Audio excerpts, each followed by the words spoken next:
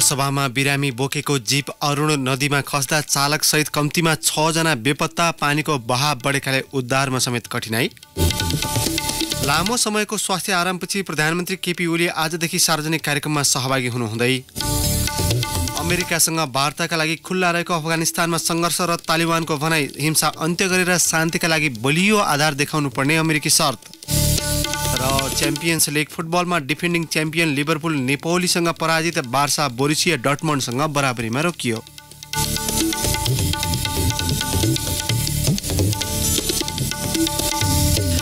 नमस्कार कान्तिपुर डायरीका साथमा साथी प्रकाश र म अनिल सुरु गरौँ मुख्य प्रसङ्गबाट। सङ्खुवा सभाको खाँदबारीबाट बिरामी बोकेर धरान जाँदै गरेको जीप दुर्घटना हुँदा कम्तीमा छजना बेपत्ता भएका छन्। दुर्घटनामा एकै परिवारका तीनजना परेका छन्। धर्मदेवी नगरपालिका आठमा पर्ने अक्करको भिरबाटको एक ज सडतिस उनापचास नम्बरको जीप अरुण नदीमा खसेको हो। जीप राति साढे दस बजे सिधै अरुण नदीमा खसेर बेपत्ता भएको प्रहरीले जनाएको छ। जिल्ला प्रहरी कार्यालय सङ्खुवा सभाका डिएसपी मिम बहादुर लामाका अनुसार जीप खस्दा खाँदबारी नौका दुई महिने बालक समेत समीर श्रेष्ठ उनका बुवा सङ्गम श्रेष्ठ आमा सदीक्षा श्रेष्ठ बेपत्ता भएका हुन्। त्यस्तै प्रमेश थापा मगर खबरमान मगर र चालक सन्तोष विक पनि बेपत्ता भएको प्रहरीले जनाएको छ। जीप अरू नदीमा खसेको सूचना पाए लगत्तै सदरमुकाम खाँदबारीबाट राति नै प्रहरीको टोली परिचालित भएको थियो। लगातारको वर्षाका कारण अरुण नदीमा पानीको स्तर बढेको र जीप पुरै डुबेकाले उद्धारमा समस्या भएको डिएसपी लामाले जानकारी दिनुभयो। उहाँका अनुसार कच्चीबाट कच्ची बाटो छिचोल्दै घटनास्थलमा पुग्नुपर्ने बाध्यता रहेकाले उद्धारमा समेत समस्या भएको छ। घटनास्थलमा सङ्खुवा सभाका प्रमुख जिल्ला अधिकारी सहित सुरक्षाकर्मीको थप टोली आज बिहान पुगिसकेको छ। प्रधानमन्त्री केपी शर्मा ओली झण्डै एक महिनापछि आज सार्वजनिक कार्यक्रममा उपस्थित हुँदै हुनुहुन्छ। सिङ्गापुरमा नियमित स्वास्थ्य उपचार गराएर स्वदेश फर्किएको लामो समयपछि ओली आज सार्वजनिक कार्यक्रममा उपस्थित हुन लाग्नु भएको हो। पछिल्लो पटक उहाँ भदौ चार गते बिहान चार गते संविधान दिवस तयारी समितिको बैठकमा उपस्थित हुनुभयो। ओली सत्ताइस दिनपछि सार्वजनिक कार्यक्रममा उपस्थित हुनु लाग्नु भएको उहाँका प्रेस संयोजक चेतन अधिकारीले जानकारी दिनुभयो। प्रधानमन्त्री ओली विज्ञान दिवसको कार्यक्रममा आज सहभागी बन्नुहुने उहाँको भनाइ छ। सातौँ विज्ञान दिवसको अवसरमा राष्ट्रिय सभागृहमा सभागृहमा बिहान साढे नौ बजे हुने कार्यक्रममा ओलीले सहभागिता जनाउनुहुनेछ। यस्तै सिंहदरबारमा बन्न लागेको सङ्घीय संसद भवनको प्रधानमन्त्री केपी ओलीले शिलान्यास गर्ने कार्यक्रम छ। ओली नेतृत्वको सरकारको पहिलो मन्त्री परिषद बैठकले आफ्नै लगानीमा सङ्घीय संसद बनाउने भवन बनाउने घोषणा गरेको थियो। सोही घोषणा अनुसार सरकारले आज संसद भवन निर्माणको औपचारिक सुरुवात गर्न लागेको हो। सिंहदरबार स्थित पुतली बगैँचामा बन्दै बन्ने सो भवनको लागत पाँच अर्ब बिस करोड रुपियाँ लाग्ने अनुमान गरिएको छ। विद्युत प्राधिकरणले आगामी तीस महिनामा पहिलो चरणको भूमिगत तार प्रणालीको काम सक्ने दावी गरेको छ। पहिलो चरणमा प्राधिकरणले काठमाडौँको रत्न पार्क र महाराजगञ्ज वितरण केन्द्र अन्तर्गतका क्षेत्रमा भूमिगत तार व्यवस्थापन गर्दैछ। त्यसपछि उपत्यकाको अन्य स्थानमा तार व्यवस्थापन गरिने प्राधिकरणले जनाएको छ। भूमिगत तारको व्यवस्थापनसँगै स्मार्ट मिटरको अवधारणा अवधारणालाई पनि सँगै अघि बढाइने प्राधिकरणले जनाएको छ। यसै सन्दर्भमा हामीले प्राधिकरणका प्रवक्ता प्रबल अधिकारीलाई भूमिगत तार व्यवस्थापनमा भइरहेको प्रगति बारे सोधेका छौँ। काठमाडौँको रत्नपार्क र महाराजगञ्ज वितरण केन्द्रका करिब नब्बे हजार ग्राहकलाई हामीले टार्गेट गरेर भूमिगत तार व्यवस्थापन गर्ने भूमिगत तार बिछ्याउने कामको अहिले सर्वे कार्य भइरहेको छ। यसबाट रत्नपार्क र महाराजगञ्ज क्षेत्रका वितरण प्रणाली र चाहिँ यसमा आबद्ध ग्राहकहरू प्रभावित हुनेछन् र यहाँ विद्युत प्रणालीको व्यवस्था चुस्त दुरुस्त हुनेछ र यो पहिलो चरणको काम सकिन साथै हामीहरू फेरि दोस्रो चरणका रूपमा काठमाडौँका अन्य ठाउँहरू ललितपुर त्यसपछि बानेश्वर कुलेश्वर जस्ता अरू पनि ठाउँहरूमा हामीले भूमिगत तारहरू बिछ्याउने कार्यक्रम राखेका छौँ। चुनौतीपूर्ण काम रहेको छ? यसको चुनौती भनेर भनेको नयाँ टेक्नोलोजी हो। त्यो नयाँ टेक्नोलोजीसँग हामीहरू युज टु हुनुपर्ने हुन्छ। र अन्डरग्राउन्ड वितरण प्रणालीको प्रविधि हाम्रो देशमा खासै कतै त्यस्तो भइसकेको छैन। कतै कतै हामीहरूले सानो सानो सेक्सन तारहरू मात्रै अन्डरग्राउन्ड गर्ने गरेका छौँ। तर यो अन्डरग्राउन्ड भनेर भनेको वितरण प्रणालीको अटोमेसन समेत हो। हामीले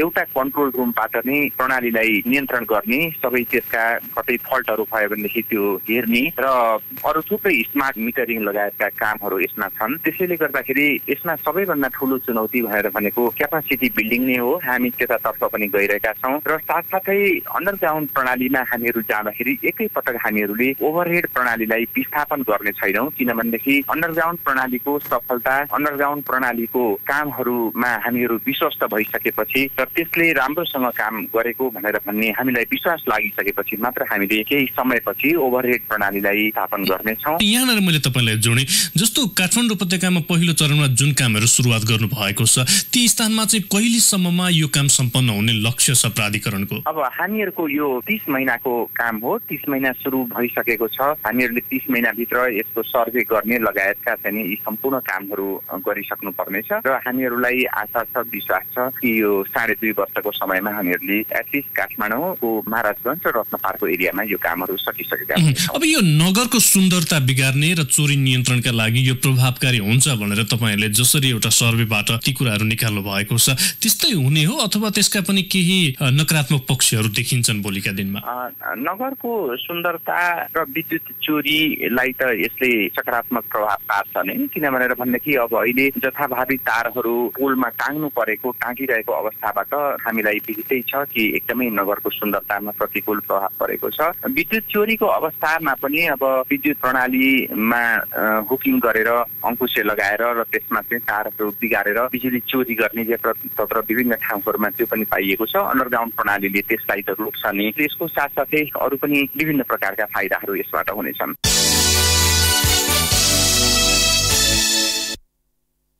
आश्विन सङ्क्रान्तिका दिन मनाइने विश्वकर्मा पूजा आज मुलुकभर विश्वकर्माको पूजा आराधना गरी मनाइँदैछ। द्वापर युगमा भगवान कृष्णलाई राक्षसले दुःख दिएपछि विश्वकर्माले समुद्रका बीचमा बेदद्वारका बनाई लुकाएको धार्मिक विश्वासका आधारमा यो पर्व मनाउने चलन छ। आजका दिनलाई वास्तुशास्त्रीले वास्तु दिवसका रूपमा समेत मनाउने गर्छन्। आज फलामबाट बनेका वस्तुहरूको पूजा गरी प्रसाद बाँड्ने चलन छ। एकै रातमा समुद्रका बीचमा भेदद्वारकाको निर्माण गरेकाले विश्वकर्मालाई सफल वास्तुविदका रूपमा मानि सोही दिनदेखि पूजा गर्ने परम्परा छ। विश्वकर्मालाई वास्तुविद्याका विशिष्ट ज्ञाताका रूपमा समेत मान्ने गरिन्छ। तराईका क्षेत्रमा यो पर्वलाई विशेष महत्त्वका साथ मनाउने गरिन्छ। विज्ञान तथा प्रविधिको क्षेत्रमा नेपालले उल्लेखनीय प्रगति हासिल गर्न सकेको छैन। अन्तरिक्षमा हालै प्रक्षेपण गरिएको पहिलो भू उपग्रहको सूचना सङ्कलनका लागि बल्ल ग्राउन्ड स्टेसन निर्माण भएको छ।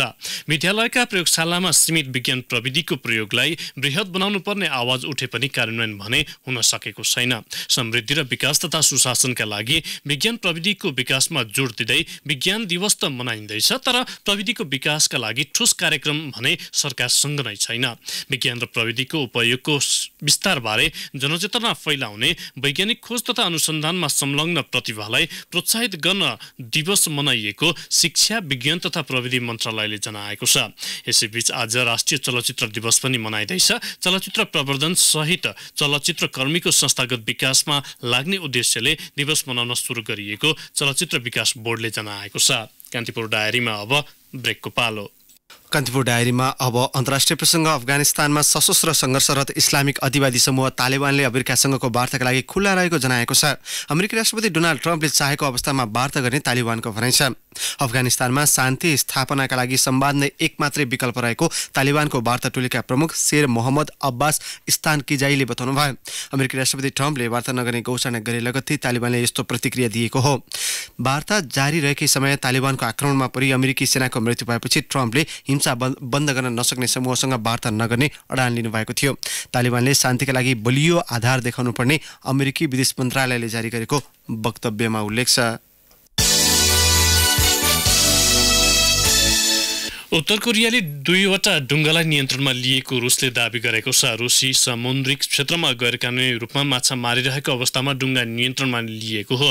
डुङ्गामा चालक दलका अस्सीजना सदस्य सभा रहेको बिबिसीले उल्लेख गरेको छ। ती डुङ्गा नियन्त्रणमा लिने रुसी प्रयासका बीच उत्तर कोरियाली पक्षले आक्रमण गर्दा तीन रुसी सीमा सुरक्षाकर्मी घाइते भएका छन्। रुसको विदेश मन्त्रालयले घटनालाई गम्भीर सुरक्षा प्रश्नका रूपमा व्याख्या गरे पनि उत्तर कोरियाले भने कुनै प्रतिक्रिया दिएको छैन। गत जुलाईमा एक रुसी डुङ्गालाई उत्तर कोरियाले माछा मारेको आरोपमा नियन्त्रणमा लिएको थियो। अब खेल प्रसङ्ग च्याम्पियन्स लिग फुटबलमा डिफेन्डिङ च्याम्पियन लिभरपुल पहिलो खेलमै पराजित भएको छ। गैरा तेस्रो लिग अन्तर्गत आफ्नो पहिलो खेलमा इङ्ग्लिस क्लब लिभरपुल नेपोलीसँग दुई शून्यले स्तब्ध बन्यो। पहिलो हाफ गोल रहित बराबरीमा सकिएको खेलमा नेपोलीले दुवै गोल दोस्रो हाफमा गर्दै शानदार सुरुवात गरेको थियो। अडचालिस प्रतिशत बल पोजिसनको खेलमा बयासी मिनटमा ड्राइज मार्टिन्सले गोल गर्दै नेपोलीलाई अग्रता दिलाएका थिए। इन्जुरी समयमा फर्नान्डो लोरेन्टले गोल गर्दै टोलीको जित निश्चित पारेका थिए। आरबी सालबर्गले जेनमाथि छ दुईको फराकिलो जित हात पार्यो। ब्रुट हालेनको ह्याट्रिक मद्दतमा सालबर्गले शानदार जित हात पारेको हो। गैराती नै आएक्सले लिलीलाई तिन शून्यले हराउँदा अर्को इङ्ग्लिस क्लब चेल्सी भ्यालेन्सियासँग एक शून्यले स्तब्ध भयो। आरबी लिप्जिङले बेन्फिकालाई दुई एकले हराउँदै सिजनको सुरुवात सुखद सुरुवात गरेको छ। कैरातीका अन्य तिन खेल भने बराबरीमा सकिएका छन्।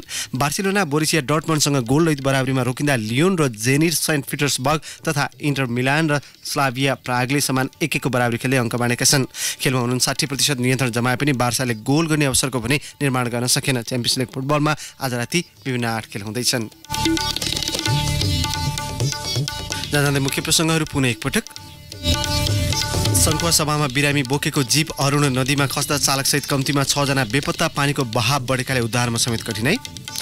लामो समयको स्वास्थ्य आरामपछि प्रधानमन्त्री केपी ओली आजदेखि सार्वजनिक कार्यक्रममा सहभागी हुनुहुँदै अमेरिकासँग वार्ताका लागि खुल्ला रहेको अफगानिस्तानमा सङ्घर्ष र तालिबानको भनाइ हिंसा अन्त्य गरेर शान्तिका लागि बलियो आधार देखाउनु पर्ने अमेरिकी शर्त।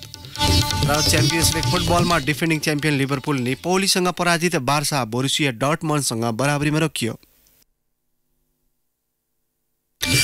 हवस् नै प्रसङ्ग कान्तिपुर डायरीको यो बुलेटिन अहिलेलाई यहीँ सकिन्छ। हाम्रो अर्को बुलेटिन बिहान दस बजे स्पोर्ट्स डायरी हुनेछ। तबसम्मका लागि कान्तिपुर डायरीबाट साथी प्रकाश र म अनिल विद्या माग्छौँ। नमस्कार। सूचना र मनोरञ्जनको सम्वाहक रेडियो राष्ट्रको रेडियो कान्तिपुर।